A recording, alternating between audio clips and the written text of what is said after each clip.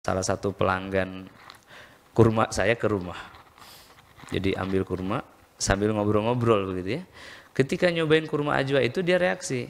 Tangannya itu reaksi, tidak mau ngambil, tidak bisa ngambil.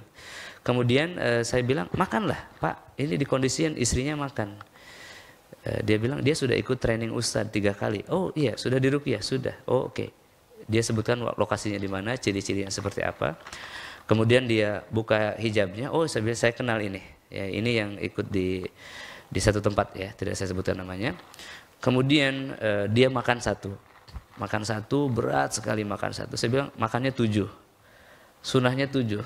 Ya suaminya senang ya disuruh makan tujuh. Istrinya ini tiga aja berat.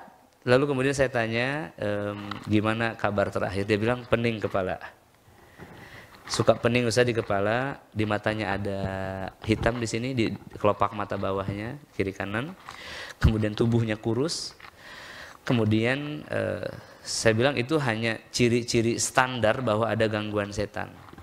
Maka beliau mengatakan betul Ustaz saya suka marah juga sama suami. Hmm, Oke, okay. marahnya gimana? Suaminya yang jawab suka lempar-lempar Ustaz. Maka kemudian saya tanya, pasti ada alasan marahnya kenapa? Ada pemicunya. Dia bilang, e, iya Ustaz, memang saya dalam pernikahan ini, ini perhatikannya, dalam pernikahan ini saya merasa amal ibadah saya malah berkurang. Perhatikan, ini salah satu konflik yang akan muncul, sumber konflik yang akan muncul pada wanita yang baik ya. Dia mengatakan setelah menikah ini saya ibadah saya berkurang Ustaz. Sebenarnya kenapa berkurang? Karena dulu kan saya mondok ya, banyak ibadah. Dia bilang, habis nikah ini kayaknya ibadah saya berkurang. Maka dengan begitu saya kesal kepada suami saya. Nah, saya bilang, Pak ini sumbernya. Kalau seseorang laki, seorang laki-laki memiliki jenggot, itu sunnah terpanjang. Nikah itu ibadah terpanjang. Dan juga sunnah terpan terpanjang. Karena bagian-bagian daripada sunnah Nabi SAW menikah.